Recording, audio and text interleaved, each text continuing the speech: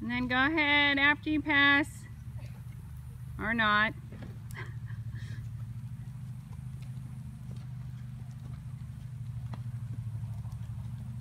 Hi, Sabrina.